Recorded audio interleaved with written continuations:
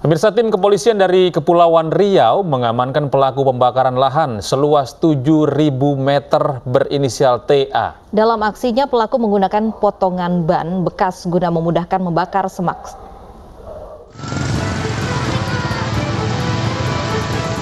Kebakaran hutan dan lahan seluas 7.000 meter terjadi di kawasan Jalan Raja Haji Fisabilah, Tanjung Pinang, Kepulauan Riau. Petugas pemadam kebakaran, kepolisian, dan warga setempat kewalahan memadamkan api.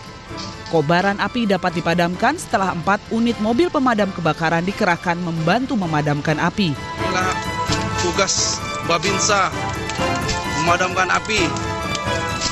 Ya, mudah-mudahan Pak berhasil ya Pak. Amin.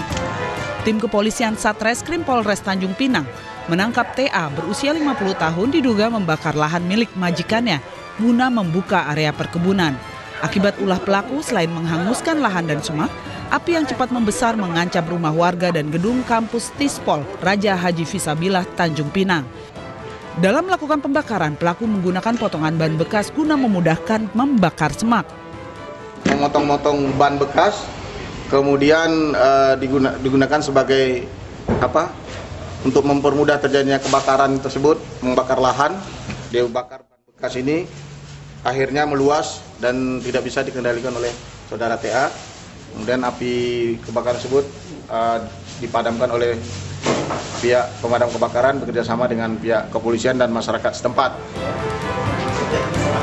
TA yang diduga pelaku pembakar lahan ditahan guna proses pemeriksaan lebih lanjut.